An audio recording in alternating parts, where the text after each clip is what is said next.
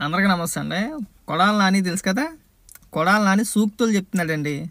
పద్ధతులు. అంటే విమర్శించే పద్ధతి గురించి కొడాల నాని చెప్తున్నాడు. అది కూడా ఎవరిని ఉద్దేశించి? శర్మిల గారిని ఉద్దేశించి. నాకు మనోని చూడగానే నాకు ఏమనిపించింది చెప్పనా? రీసెంట్గా ఒక వెబ్ సిరీస్ వచ్చింది కదా. నైంటీస్ అని చెప్పేసి ఒకటి వచ్చింది కదా శివాజీ గారిది. అందులో ఒక పాట ఉంటుంది. సాంప్రదాయని సుప్పిని శుద్ధపోసని అని చెప్పేసి అని. యాజ్ ఇట్ ఈజ్ ఆ పాటే గుర్తుకొచ్చింది మనం చూస్తే. విమర్శించే విధానం గుర విధానం అంట విధి విధానాలపైన ఉండాలంట చేసే పనులపైన ఉండాలంట రాజకీయంగా విమర్శలు చేయాలంట. పర్సనల్గా ఏమైనా ఉంటే మీరు మీరు కూర్చొని మాట్లాడుకోండి అని చెప్పి అని అంటున్నాడు. మరి నీకు చంద్రబాబు నాయుడు గారికి పర్సనల్గా ఏమున్నాయరా?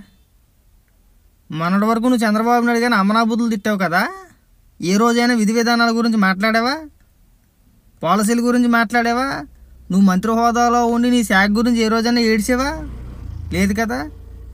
చంద్రబాబు నాయుడు గారిని అమనాబూతులకి తిట్టావు? మరి నీకు చంద్రబాబు నాయుడు గారికి వ్యక్తిగతంగా ఏమున్నాయని చెప్పేసి అని ఇవ్వకూడాలనే నీ మాటలు వినిపిద్దాం అనుకున్నా కానీ టైం బొక్క. నీ గురించి వీడియో చేయడమే టైం బొక్క. మళ్ళీ నువ్వు చెప్పిన సోళ్ళు నేను వినిపించలేను కదా? ఒక అందుకు ఆశ్చర్యం వేసింది నాకు కూడా. అంటే అనిపించింది మరి ఇలా వచ్చిందా లేదంటే నీతులు కాబట్టి అలా చెప్పాలని చెప్పి చెప్తున్నాడా అనిపించింది. నీ నోటంటే ఒక్క మాట ఒక్క ప్రెస్ మీట్లు ఒక్క బూత్ మాట లేకుండా ఏ రోజైనా కానీ ప్రతిపక్ష నాయకులు విమర్శించావా? ఆ చంద్రబాబు నాయుడు గారిని కావచ్చు లోకేష్ గారిని కావచ్చు లేదంటే పవన్ కళ్యాణ్ గారిని కావచ్చు ఎవరినైనా కావచ్చు. అన్నీ బూతులే కదా. జగన్మోహన్ రెడ్డి చేసింది ఏమన్నా ఏ రోజు చెప్పగలిగావా? నువ్వు మంత్రిగా ఉండి నేను చేసింది ఏమన్నా ఇది ఇది ఉందా అని చెప్పి చెప్పగలిగావా?